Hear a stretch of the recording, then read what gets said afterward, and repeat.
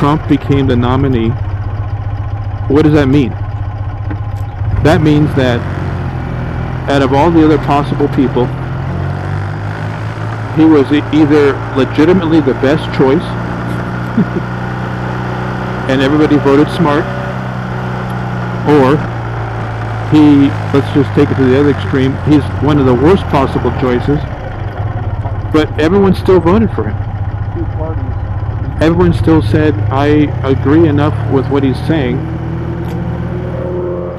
or he's, he's at least he's addressing my fears enough, pushing those buttons enough to where I'm going to vote for that guy. The other people weren't. They weren't taking it to the highest, to, to the, they weren't matching the level of anger in the, in the Republican Party, people voting for whoever the nominee might be. They weren't matching the level of anger that everyone else had. Trump was. Trump was acting like he's furious. He's crazy furious. You know, he's mad insane, not just mad angry. But the point is, everyone relates to only mad angry. I mean, uh, yeah, they don't they don't relate to the insane part. They just relate to, yeah, he's angry like me, and that's good because I mean, I I understand that. You know, I, I read what he's saying. I agree with that kind of thing, which is pretty amazing. But I kind of understand it. I mean, everyone's upset. That, that's why everyone's upset with this whole thing.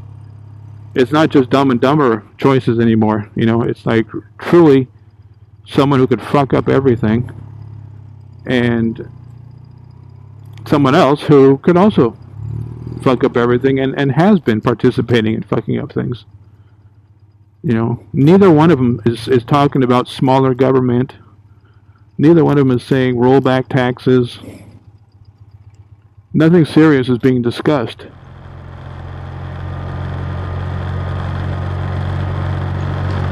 It's really a pathetic joke that the uh, Republicans acted like they didn't know what was happening with Trump. There's been the last 50, 100 years telling everybody about all this, everything to be scared of, terrified of.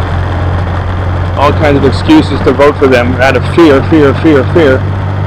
And then when one asshole shows up who understands, you know, how to talk about fear and insecurity constantly, because he is full of that, then they, they're baffled by it when people follow his lead, because, you know, even though they've been programming everybody all along, the whole time, to think like this.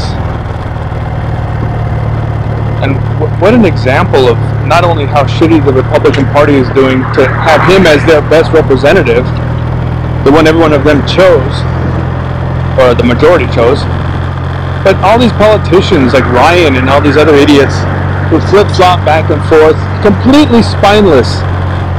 Our country's in in in crisis, and these idiots are just like.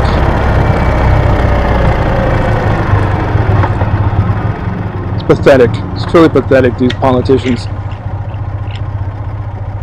total bunch of gutless cowards, zero principles. Disgusting is what they are. Flat out disgusting. Zero thoughts for the health of the country or what's going on. The the country is the last priority. The citizenship is the last priority. They're voted by the citizens, and that's the last priority. They, they really don't care about them at all. All they care about is themselves and their corporate masters. Revolting. Barely human. Practically 100% lizard and insect mentality.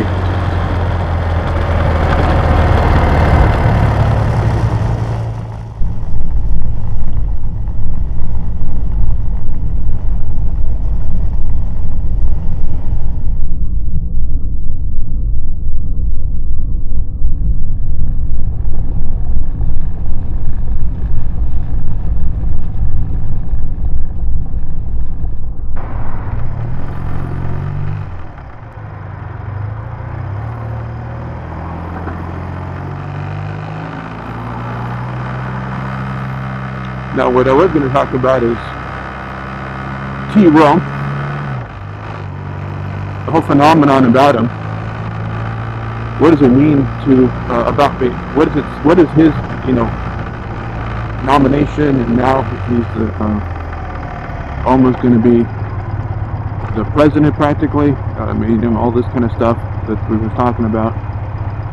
Because right now it's the uh, beginning of November. I think it's like five days, four days away from uh, the election day. And the polls are basically even, essentially.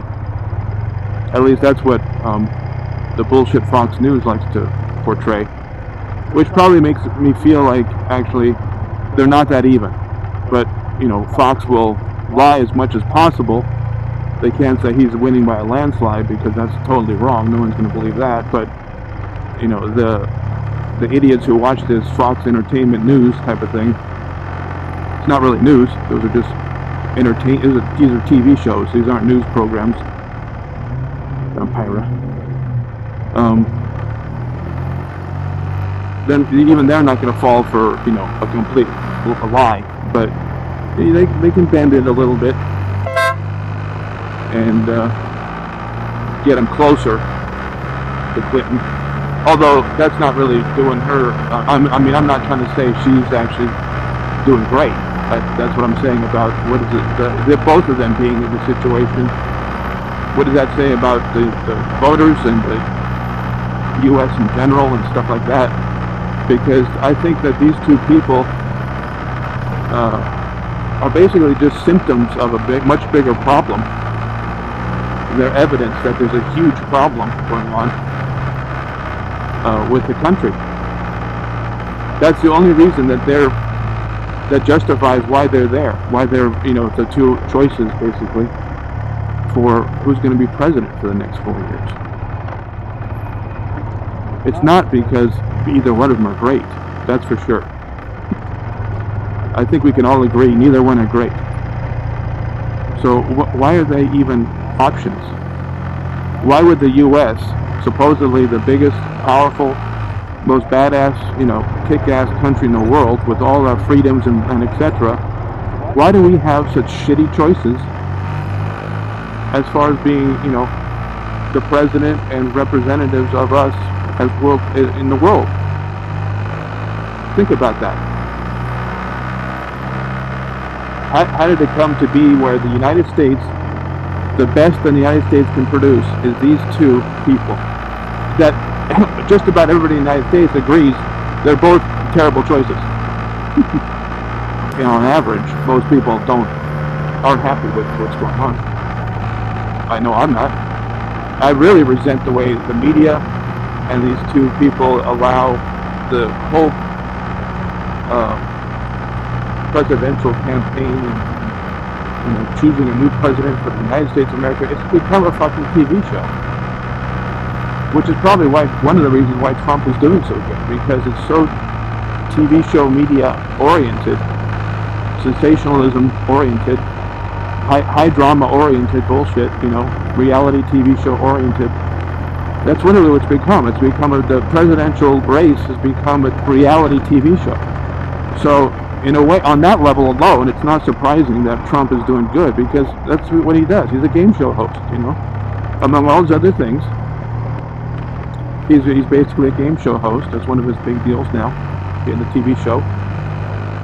And so he, he kind of knows that, that field, you know. That's his game. He, he knows enough about that to do good. He knows how to get the ratings up, you could say. That's really what he's doing. He just, whatever he does, he's just getting the ratings up, keeping them up. Something goes down, he lets it go down a little bit, and then he does something else or says something else to get get the ratings back up, get more attention. Even if it's negative attention, it's still better than no attention. You can see that because look at all the other also rans. You know, the other people, the other Republicans, let's say, didn't have enough drama in their campaign, basically. So people lost interest and they faded away.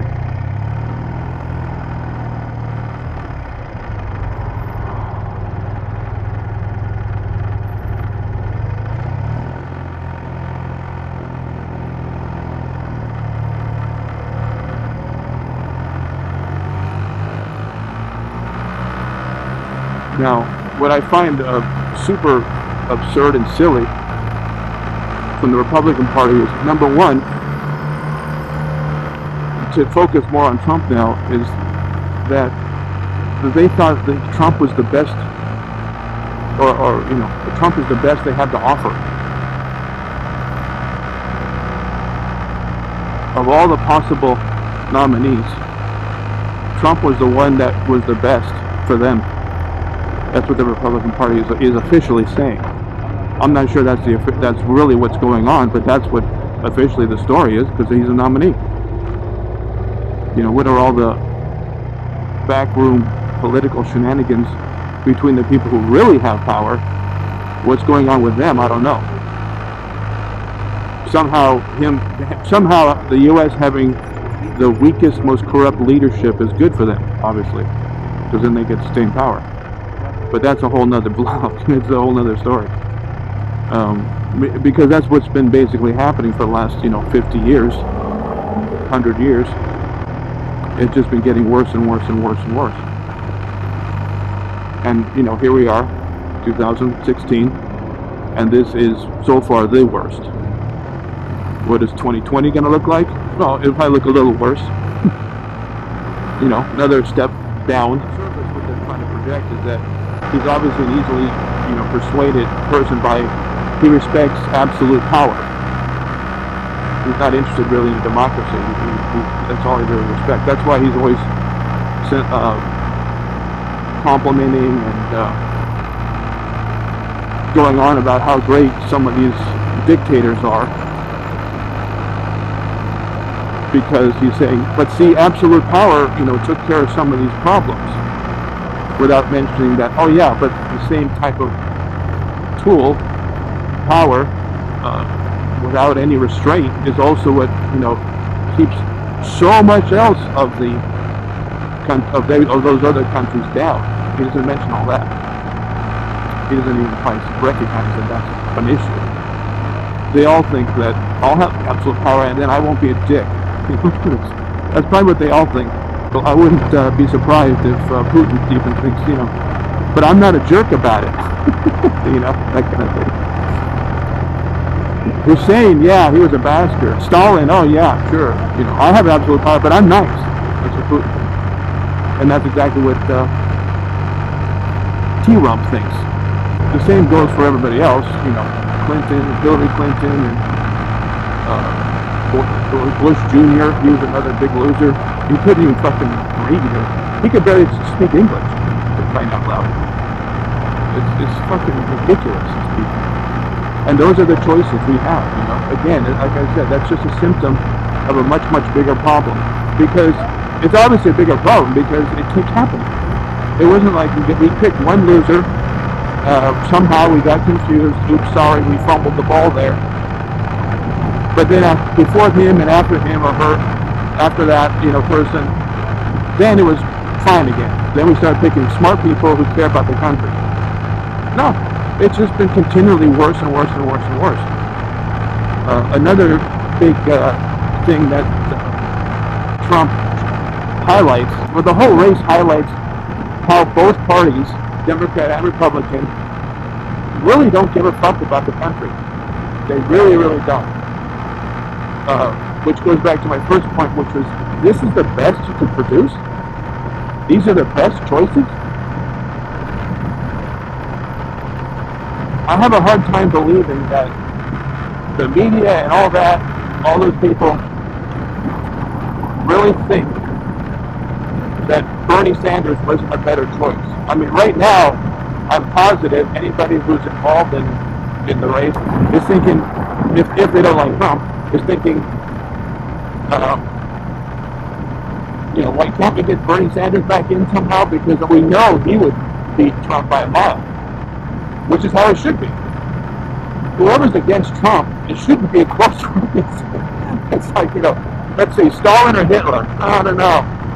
It's kind of a toss-up on how, you know, which one's the least bad is not how to determine which one's the most good.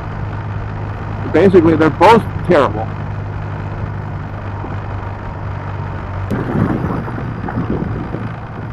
So, you know, in spite of all the bullshit this is really the fault of the of the citizens in a way for allowing themselves to be so lazy and keep thinking, well, someone else is going to take care of it. Someone else is going to clean up the mess. But then we hire in the you know, the people we, we vote in, I mean, to clean up the mess are just making more of a mess. It's not like they really give a shit. They're there to make their money too.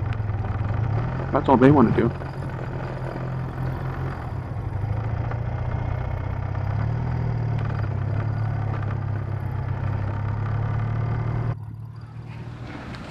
So I just voted. And there's actually quite a bit of drama in there.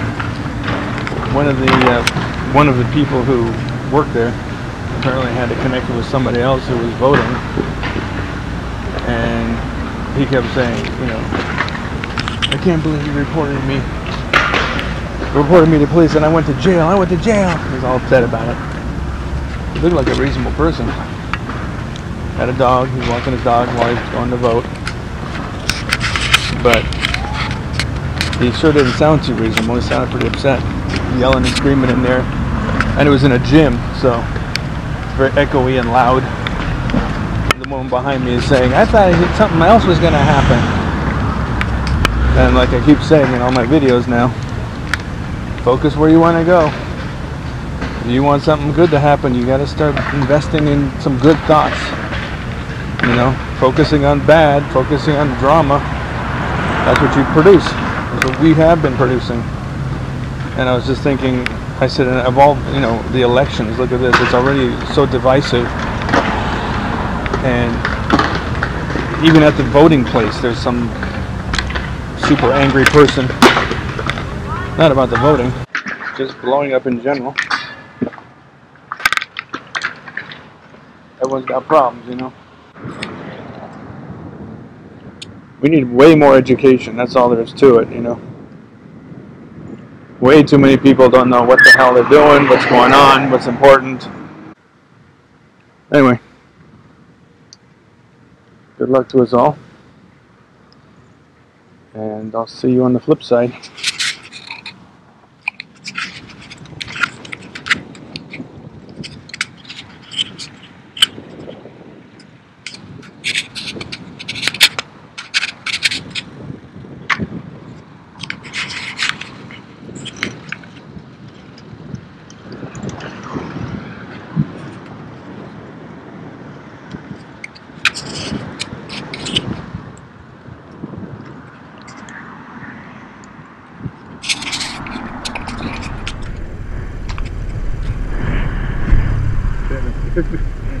saw my own shadow. I was like, who's that? right next to me. That's hilarious.